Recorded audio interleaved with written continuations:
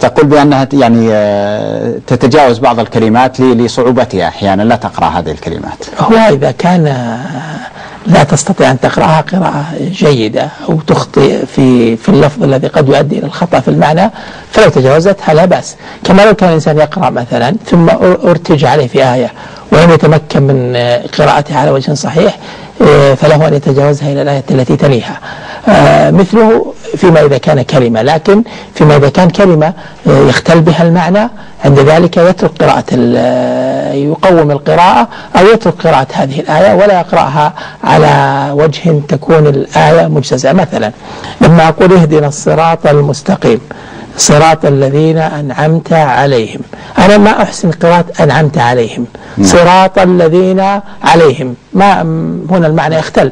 ففي مثل هذا تجاوز هذه الكلمة آه، سيترتب عليه اختلال في معنى الآية نعم. فيترك الآية آه، أفضل من أن يترك كلمة آه، قد تؤثر في المعنى إما عدم وضوح وإما تغيير المعنى كلي فبالتالي في هذه الحال يترك قراءة هذه الآية أفضل من أن يقرأها منقوصة الكلمة نعم. وأما إذا قرأها وكانت قراءته فيها خطأ فإن شاء الله تعالى يدخل في عموم آه، من كان يقرأ القرآن وهو عليه شاق في حديث عائشة فله أجران. وأما من يقرأه وهو عليه يسير فهو مع الكرام البررة السفرة.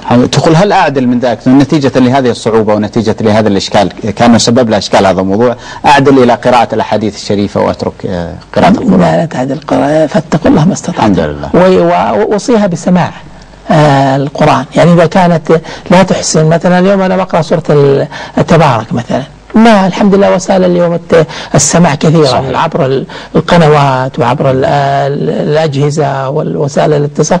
تضع السورة وتقرأها. ما خالف تكررها مرة عشر مرات إلى أن تتقن. الآن في المصحف هذا التعليم, آه، التعليم اللي فيه قلم تضع آية على القلم على موضع الآية ويقرأها لك كاملة بأصوات مختلفة ويكررها مرات عديدة. فتيسر مثل هذا. ولذلك أقول لا تنصرفي عن القرآن. القرآن القرآن آه، نور وهدى وشرح للقلب ونور البصيرة فينبغي المحافظة على قراءته.